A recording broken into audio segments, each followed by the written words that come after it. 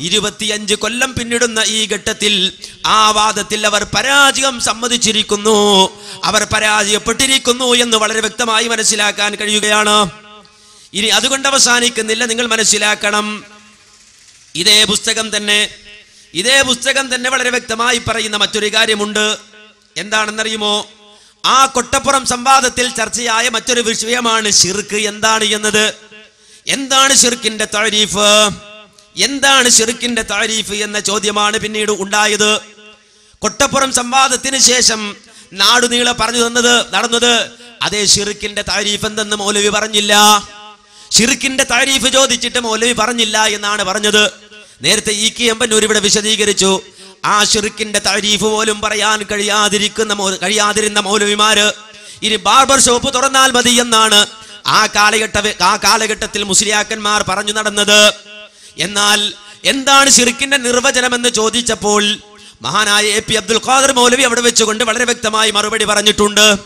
ഈ O M തെരുവണ എഴുതിയ കൊട്ടപ്പുറം സംവാദം എന്ന പുസ്തകത്തിന്റെ ആറ് ഏഴ് പേജുകളിൽ വളരെ വ്യക്തമായി ഇത് കാണാം. അള്ളാഹുവിന്റെ ദാത്തിലോ സിഫാത്തിലോ പങ്കു ചേർക്കുക എന്നൊരർത്ഥം പറഞ്ഞു. ആര്? എ പി അബ്ദുൽ ഖാദർ മൗലവി പറഞ്ഞു. അത് കാന്തപുരം തന്നെയും സമ്മതിക്കുകയാണ് അള്ളാഹുവിന്റെ ദാത്തിലോ. സിഫാത്തിലോ പങ്കുചേർക്കുക എന്ന ഒരു അർത്ഥം പറഞ്ഞു. ഖുർആാനോ ഹദീസോ പ്രാമാണിക ഗ്രന്ഥങ്ങളോ ഉദ്ധരിച്ചല്ല പറഞ്ഞിട്ടുള്ളത്. അഥവാ മുജാഹിദ് പക്ഷം ഷിർക്കിന്റെ നിർവചനം പറഞ്ഞപ്പോൾ ഖുർആാനോ ഹദീസോ പ്രാമാണിക ഗ്രന്ഥങ്ങളോ ഉദ്ധരിച്ചിട്ടല്ല പറഞ്ഞിട്ടുള്ളത്. വളരെ വ്യക്തമായി നിങ്ങൾ മനസ്സിലാക്കണം. അവിടെ വീണ്ടും എ പി അബ്ദുൽ ഖാദർ മൗലവി അവിടെ വെച്ച് മറുപടി പറഞ്ഞു കൊടുത്തു. ഷിർക്ക് എന്നതിന്റെ അർത്ഥം ബ്രാക്കറ്റിൽ നിർവചനമാണ് ചോദിച്ചതെന്ന് ഓർക്കുക. ഖുർആാനുള്ള പദങ്ങളുടെ അർത്ഥം വിശദീകരിക്കുന്ന കൂട്ടത്തിൽ ഇമാം റാഹിബ് തന്റെ മുഫ്രദാത്തിൽ പറയുന്നു എന്ന് പറഞ്ഞുകൊണ്ട് ഇവിടെ വിശദീകരിക്കുകയാണ്. അള്ളാഹുവിന് പങ്കുകാരെ ചേർക്കലാണ് ഏറ്റവും വലിയ ചെറുക്ക് അള്ളാഹുവിൽ പങ്കു ചേർക്കുക. അവൻ ഒരിക്കലും പൊറുക്കാത്ത പാപമാണ് കുഫ്രാണ്. ഇതാണ് ശിർക്കിന് പ്രാമാണികമായി പറയുന്ന അർത്ഥം. ഇങ്ങനെ വിശദീകരിക്കുമ്പോൾ ആ വിശദീകരിച്ചുകൊണ്ട് എന്താണ് ശിർക്ക് എന്ന് പറയുകയും അതുപോലെ തന്നെ എങ്ങനെയാണ് ശിർക്ക് സംഭവിക്കുക എന്ന് പറയുമൊക്കെ പറയുകയൊക്കെ ചെയ്തുകൊണ്ട് വളരെ വ്യക്തമായി ഇവിടെ വിശദീകരിച്ചിട്ടുണ്ട് എങ്കിൽ വിശദീകരിച്ചിട്ടുണ്ടെങ്കിൽ വളരെ വ്യക്തമായി നിങ്ങൾ മനസ്സിലാക്കണം വീണ്ടും ഇതേ പുസ്തകത്തിന്റെ എട്ട് ഒമ്പത് പേജുകളിൽ ആ ഷിർക്കിനെ സംബന്ധിച്ചു തന്നെ പറയുന്നത് കേട്ടോളൂ. അള്ളാഹുവിൽ പങ്കുചേർക്കുക എന്ന് പറഞ്ഞാൽ അവന്റെ ദാത്തിലോ സിഫാത്തിലോ പങ്കുചേർക്കലാണ്. പ്രാർത്ഥന ആരാധനയാണ്. അള്ളാഹുവല്ലാത്തവരോട് പ്രാർത്ഥിക്കൽ ചെറുക്കാണ്. ഇതാണ് ഞങ്ങൾ സമർപ്പിച്ചത്. മുജാഹിദ് പക്ഷം പറയുകയാണ് അള്ളാഹുവിൽ പങ്കുചേർക്കുക എന്ന് പറഞ്ഞാൽ അവന്റെ ദാത്തിലോ സിഫാത്തിലോ പങ്കുചേർക്കലാണ്. വീണ്ടും കാന്തപുരം മുസ്ലിയാർ വീണ്ടും പറയുന്നത് അള്ളാഹുവിന്റെ ദാത്തിലും സിഫാത്തിലും പങ്കുചേർക്കലാണ്. ഷിർക്ക് എന്നാണ് ഞങ്ങളുടെ വാദമെന്ന് പറഞ്ഞു. അതിന് ആയത്തോ ഹദീസോ ഓതിയിട്ടില്ല. വേറെ ഇബാറത്ത് വായിച്ചിട്ടുമില്ല. എന്ന് പറഞ്ഞാൽ കൊട്ടപ്പുറത്ത് വെച്ചുകൊണ്ട് മുജാഹിദ് പക്ഷം ഷിർക്ക് എന്ന് പറഞ്ഞാൽ അള്ളാഹുവിന്റെ ദാത്തിലോ സിഫാത്തിലോ അഫാലിലോ പങ്കുചേർക്കലാണ് ഷിർക്ക് എന്ന് പറഞ്ഞപ്പോൾ ആ ഷിർക്ക് ഒരിക്കലും പാടില്ലെന്ന് പറഞ്ഞപ്പോൾ അത് ഷിർക്കിന്റെ നിർവചനമായി ഞങ്ങൾ പരിഗണിക്കുകയില്ല. ഷിർക്കിന്റെ നിർവചനമായി ഞങ്ങൾ മനസ്സിലാക്കുകയില്ല. അത് ഞങ്ങൾക്ക് ഉൾക്കൊള്ളാൻ കഴിയുകയില്ലെന്ന രൂപത്തിലാണ് കാന്തപുരം മുസ്ലിയാർ മറുപടി പറഞ്ഞതെങ്കിൽ ഇരുപത്തി കൊല്ലം തികയുന്നതിന് മുമ്പ് ആ കൊട്ടപ്പുറം സംവാദം കഴിഞ്ഞ് കുറച്ചു നാളുകൾ കഴിയുമ്പോൾ അവർ തന്നെയും സമ്മതിക്കുകയാണ്. എന്താ സമ്മതിച്ചത്? അതെ അന്ന് കൊട്ടപ്പുറത്ത് വെച്ചുകൊണ്ട് മുജാഹിദികൾ പറഞ്ഞ ചെറുക്കിന്റെ നിർവചനം. ആ നിർവചനമാണ് ശരിയെന്ന് ഈ സമൂഹത്തിന്റെ മുന്നിൽ സമ്മതിക്കേണ്ട അവസ്ഥ അവർക്കുണ്ടായി. നിങ്ങൾ വളരെ വ്യക്തമായി മനസ്സിലാക്കണം. ഇ കെ എം പന്നൂര് അവരുടെ പാഠപുസ്തകത്തിൽ തന്നെ വന്ന നിർവചനം ഇവിടെ വായിക്കുകയുണ്ടായി. അവരുടെ പാഠപുസ്തകത്തിൽ വന്ന നിർവചനം തന്നെ മുജാഹിദുകൾ എന്ന് കൊട്ടപ്പുറത്ത് വെച്ചുകൊണ്ട് പറഞ്ഞ നിർവചനമാണ്. അന്ന് അവർ സമ്മതിച്ചില്ല എങ്കിൽ മക്കളെ പഠിപ്പിക്കുവാൻ അവർ തയ്യാറാക്കിയ പാഠപുസ്തകത്തിൽ പോലും ആ മുജാഹിദുകൾ പറഞ്ഞ നിർവചനം എടുത്തു കൊടുക്കുമ്പോൾ പരാജയം സമ്മതിക്കുകയാണ്. മുജാഹിദുകൾ പറഞ്ഞത് ശരിയാണെന്ന് സമ്മതിക്കുകയാണ്.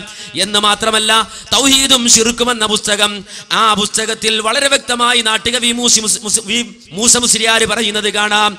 തൗഹീദ് മനസ്സിലാക്കിയാൽ ഷിർക്ക് മനസ്സിലാക്കാൻ പ്രയാസമുണ്ടാവില്ല. അള്ളാഹുവിന്റെ സ്വയംഭൂവായ സത്ത അതമാതാത്ത് അല്ലെങ്കിൽ ആദ്യവും അന്ത്യവുമില്ലാത്ത അവന്റെ വിശേഷണങ്ങൾ ബ്രാക്കറ്റിൽ സിഫാത്ത് അല്ലെങ്കിൽ അവന്റെ പ്രവർത്തനങ്ങൾ ബ്രാക്കറ്റിൽ അഫാൽ ഇവയിൽ ഏതെങ്കിലും ഒന്നിൽ അള്ളാഹുവിന് സമന്മാരെ ആരോപിക്കലാണ് ശിർക്ക്. എന്തായി പറയുന്നത്? കൊട്ടപ്പുറത്ത് വെച്ചുകൊണ്ട് എന്താണ് ശിർക്കിന്റെ താരീഫ് എന്ന് ചോദിക്കുമ്പോൾ മുജാഹിദികൾ പറഞ്ഞ മറുപടി അവിടെ വെച്ചുകൊണ്ട് സമ്മതിച്ചില്ല. അത് നിർവചനമായി ഉൾക്കൊള്ളാൻ തയ്യാറായില്ലെങ്കിൽ കൊട്ടപ്പുറം സംവാദം കഴിഞ്ഞ് പുറത്തിറങ്ങിയിട്ട് അതേ മുജാഹിദികൾ പറഞ്ഞ നിർവചനത്തിലേക്ക് തങ്ങൾക്കു തന്നെ എത്തേണ്ടി വരുമ്പോൾ മാന്യ സഹോദരങ്ങളെ പറയൂ ആ കൊട്ടപ്പുറം സംവാദത്തിൽ മുജാഹിദികൾ പരാജയപ്പെട്ടു എന്ന് പറഞ്ഞു നടക്കുന്നത് അതിന് സുല്ലമിയെ പോലുള്ള ആളുകളുടെ ക്ലിപ്പുകൾ ഉപയോഗിക്കുന്നത് മാന്യതയ്ക്ക് ചേർന്നതാണോ എന്ന് പരിശോധിക്കേണ്ടതുണ്ട്. ഇനി അതുകൊണ്ട് അവസാനിച്ചോ മാന്യ സഹോദരങ്ങളെ ഇല്ല. കൊട്ടപ്പുറം സംവാദം ആ സംവാദത്തിൽ വന്ന മറ്റൊരു ചർച്ച എന്താണെന്നറിയുമോ? കേട്ടോളൂ. കൊട്ടപ്പുറം സംവാദം എന്ന പുസ്തകം ഓ എം തരുവണ എഴുതിയ പുസ്തകം അതിന്റെ പത്തൊമ്പതാമത്തെ പേജിൽ പറയുന്നത് കാണാം. മനുഷ്യന്റെ കഴിവ് മനുഷ്യന്റെ കഴിവ് എന്ന് ആവർത്തിച്ചാൽ എന്റെ ചോദ്യത്തിന് മറുപടിയല്ല കഴിവിന്റെ പരിധി എന്ത്? എത്ര എന്ന് ആയത്ത് ഹദീസ് ഉദ്ധരിച്ചുകൊണ്ട് മറുപടി പറയണം. അഥവാ മുജാഹിദികൾ പറഞ്ഞു മനുഷ്യന്റെ കഴിവിന് പരിധിയുണ്ട്. മനുഷ്യന്റെ കഴിവിന് പരിധിയുണ്ടെന്ന് പറയുമ്പോൾ അതിനെ പരിഹസിച്ചുകൊണ്ട് ചോദിക്കുകയാണ് എത്രയാണ് മനുഷ്യന്റെ കഴിവിന്റെ പരിധി? അതിന്റെ കണക്ക് എത്രയാണ്? എത്രയാണ് പരിധി എന്ന് ചോദിക്കുകയാണ്. മാത്രമല്ല വീണ്ടും അതേ പുസ്തകത്തിന്റെ എൺപത്തിരണ്ടാമത്തെ പേജിൽ കൊട്ടപ്പുറം വാദപ്രതിവാദത്തിൽ വെച്ചുകൊണ്ട് പറഞ്ഞതായി എടുത്തുദ്ധരിക്കുന്നു. ഇന്നലെ മറുപക്ഷം അള്ളാഹു കൊടുക്കുന്ന കഴിവിന് പരിധിയുണ്ടെന്ന് പറഞ്ഞപ്പോൾ ഏതാണ് പരിധി എന്ന് പലതവണ ചോദിച്ചിട്ട് മറുപടി ഉണ്ടായില്ല. പക്ഷേ അള്ളാഹു അള്ളാഹു അള്ളാഹു കൊടുക്കുന്നതിന് യാതൊരുവിധ പരിധിയുമില്ലെന്നാണ് ഖുർആൻ പറഞ്ഞത്.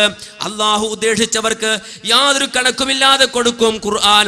പരിധിയുണ്ട് എന്ന നിങ്ങളുടെ വാദം ഇസ്ലാമിൽ നിങ്ങൾ നടത്തിയ കരിഞ്ചന്തയാണ്. മനുഷ്യന്റെ കഴിവിന് പരിധിയുണ്ട് എന്ന് നിങ്ങൾ പറഞ്ഞത്. ഇസ്ലാമിൽ നിങ്ങൾ നടത്തിയ കരിഞ്ചന്തയാണെന്ന് കൊട്ടപ്പുറം വാദപ്രതിവാദത്തിൽ വെച്ചുകൊണ്ട് കാന്തപുരം എ പി അബൂബക്കർ മുസ്ലിയാര് പറഞ്ഞുവെങ്കിൽ മനുഷ്യ കഴിവിന് പരിധിയുണ്ട് എന്ന് പറഞ്ഞാൽ അത് അത് കരിഞ്ചന്ത നടത്തിയതാണ് തീരിലെന്ന് വാദിച്ച വാദമാണ് കൊട്ടപ്പുറത്ത് വെച്ച് കൊണ്ടുണ്ടായതെങ്കിൽ ഇതാ നാളുകൾ കഴിഞ്ഞപ്പോൾ മാറ്റം വരികയാണ്. അതെ കുഞ്ഞു മുഹമ്മദ് മുസ്ലിയാർ പുറത്തിറക്കിയ പ്രപഞ്ച പ്രപഞ്ചശില്പി എന്ന പുസ്തകം? ആ പുസ്തകത്തിൽ തോൽവി സമ്മതിക്കുന്നു പരാജയം സമ്മതിച്ചുകൊണ്ട് എഴുതുന്നു. മനുഷ്യന്റെ അറിവിനും കഴിവിനും കേൾവിക്കും കാഴ്ചക്കും മറ്റും പരിധിയും പര്യവസാനവുമുണ്ട്.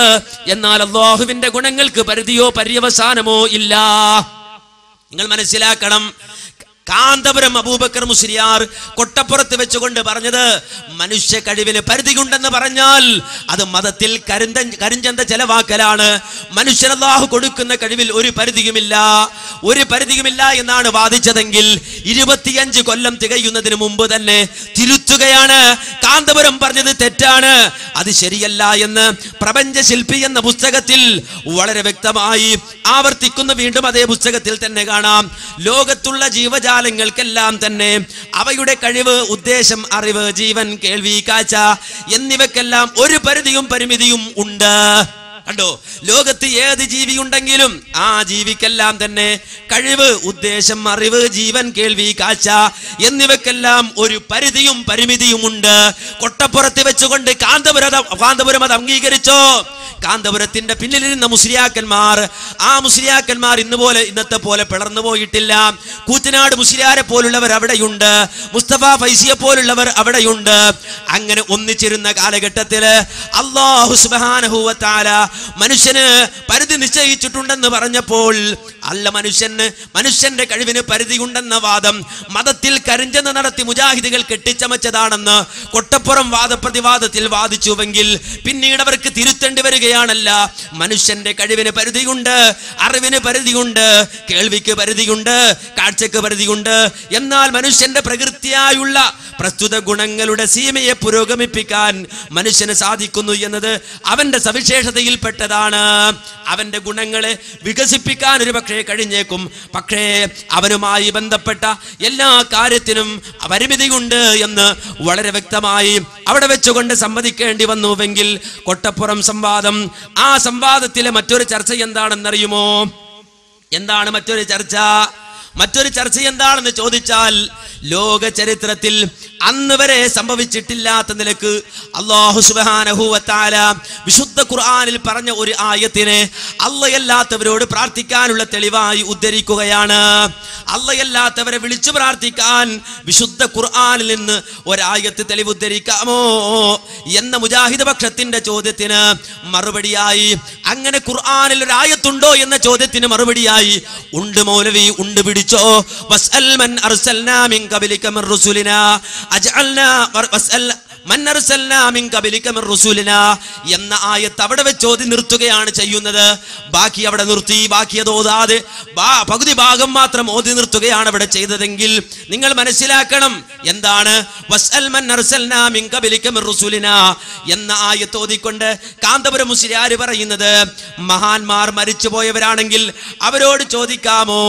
എന്തിന് സംശയിക്കണം? തങ്ങൾക്ക് മുമ്പ് കഴിഞ്ഞുപോയ പ്രവാചകന്മാരോട് തങ്ങൾ ചോദിക്കുക എന്ന് പരിശുദ്ധ ഖുർആൻ പറയുന്നു. കണ്ടോ? വിശുദ്ധ ഖുർആൻ തന്നെ പറയുന്നുണ്ട് തങ്ങൾക്ക് മുമ്പ് കഴിഞ്ഞുപോയ പ്രവാചകന്മാരോട് തങ്ങൾ ചോദിക്കുക എന്ന്. പരിശുദ്ധ ഖുർആൻ പറഞ്ഞു എന്ന് പറഞ്ഞിട്ട് അദ്ദേഹം പറയുന്നത് ഈസാ അലിഹിസ്സലാം തുടങ്ങിയവർ മരിച്ചില്ലെന്ന് വെച്ചാൽ തന്നെ മറ്റു പ്രവാചകന്മാരെല്ലാം മരിച്ചുപോയവരാണല്ലോ. ഇവരോട് ചോദിക്കാനാണ് ഖുർആൻ പറയുന്നത്. അപ്പൊ മരിച്ചുപോയവരോട് പ്രാർത്ഥിക്കാനാണ് വിശുദ്ധ ഖുർആനിൽ സൂറത്തു സുഹുറുഫിൽ നാൽപ്പത്തി അഞ്ചാം സൂക്തത്തിലൂടെ അള്ളാഹു പറഞ്ഞത് എന്ന് കാന്തപുരം മുസ്ലിയാര് വാദിച്ചു വാദിച്ചുവെന്ന് ആ പുസ്തകം ഒരു സ്ഥലത്ത് പറഞ്ഞ് അവസാനിപ്പിക്കുന്നില്ല ഇതേ പുസ്തകത്തിന്റെ നൂറ്റി പതിനേഴാമത്തെ പേജിൽ വീണ്ടും പറയുന്നത് കാണാം. ആര് ആര് പറഞ്ഞു മൗലവി? സഅലക്ക് പ്രാർത്ഥന എന്ന അർത്ഥമില്ലെന്ന് ഒരു ഭാഷ നികുണ്ടുവെങ്കിലും നോക്കിയിട്ട് പോരായിരുന്നു ഈ പാണ്ഡിത്യം പറ പാണ്ഡിത്യം. പറഞ്ഞിട്ട് കാര്യമില്ല. അബുൻ അഹുൻ പഠിപ്പിക്കുന്ന മഹാപാണ്ഡിത്യമല്ലേ പ്രാർത്ഥന എന്നും സഅലക്ക് അർത്ഥമുണ്ട്. സഅല പ്രാർത്ഥിച്ചു. അൽഫറായിദ് അൽഫറായിദ് പേജ് നൂറ്റി അറുപത്തി മൂന്ന് ഇയാളുടെ ധാരണ തെറ്റിപ്പോയത്രേ. ഇങ്ങനെയാണെങ്കിൽ ധാരണ പലതും അധികം കഴിയാതെ തെറ്റും. അള്ളാഹുവിന്റെ അനുഗ്രഹത്തിന് വേണ്ടി പ്രാർത്ഥിക്കാൻ പറഞ്ഞെടുത്ത് ഖുർആൻ തന്നെ വസ്അലു എന്നല്ലേ പറഞ്ഞത്? എന്തോ വലിയത്. നേടിപ്പോയി എന്ന മട്ടിലായിരുന്നു പിന്നീട് മൗലവിയുടെ ഭാവം നോക്കുക എന്ന് പറഞ്ഞുകൊണ്ട് വീണ്ടും അതിനെ ന്യായീകരിക്കുകയാണ്. അതെ കൊട്ടപ്പുറം സംവാദത്തിൽ അല്ലയല്ലാത്തവരെ വിളിച്ചു പ്രാർത്ഥിക്കാമെന്നതിന് തെളിവായി ഓതിയ ആയത്ത് വസ്അൽ മൻ അർസൽനാ എന്ന ആയത്താണെങ്കിൽ തിരുത്തുകയാണ് പിന്നീട്. വളരെ വ്യക്തമായി തന്നെ വർഷങ്ങൾ പിന്നിടുമ്പോൾ തിരുത്തേണ്ടി വരികയാണ്. ഇതാ ആ കൊട്ടപ്പുറം സംവാദം കഴിഞ്ഞതിനു ശേഷം അബ്ദുറഹ്മാൻ മഹദൂമി പൊന്നാനി ഖുർആൻ പരിഭാഷ ഇറക്കുകയാണ് ആ ഖുർആൻ പരിഭാഷയിൽ കൊട്ടപ്പുറത്ത് കാന്തപുരം മുസ്ലിയാർ ഓതി ദുർവ്യാഖ്യാനിച്ച വിശുദ്ധ ഖുർആാനിലെ ആയത്തെടുത്തു കൊടുക്കുകയാണ്.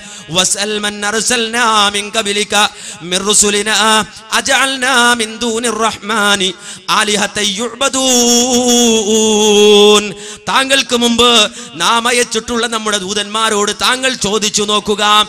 കാരുണ്യവാനായ അള്ളാഹുവിന് പുറമെ ആരാധിക്കപ്പെടുന്ന വല്ല ഇലാഹുകളെയും നാം നിയോഗിച്ചിട്ടുണ്ടോ എന്ന്. വളരെ വ്യക്തമായി മനസ്സിലാക്കണം. വളരെ വ്യക്തമായി മനസ്സിലാക്കണം ഈ ആയത്ത് ഉദ്ധരിച്ചിട്ട്.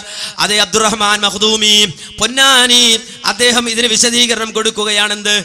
കഴിഞ്ഞുപോയ പ്രവാചകന്മാരുടെ മേൽ ഇറക്കപ്പെട്ട വേദഗ്രന്ഥങ്ങൾ പരിശോധിക്കുക എന്നാണ് ഇവിടെ ഉദ്ദേശിക്കുന്നത്. കണ്ടോ? കഴിഞ്ഞുപോയ പ്രവാചകന്മാരുടെ മേൽ ഇറക്കപ്പെട്ട വേദഗ്രന്ഥങ്ങൾ പരിശോധിക്കുക എന്നാണ് ഇവിടെ ഉദ്ദേശിക്കുന്നത്. അല്ലാതെ പ്രവാചകന്മാരോട് പ്രാർത്ഥിക്കുക എന്നതല്ല.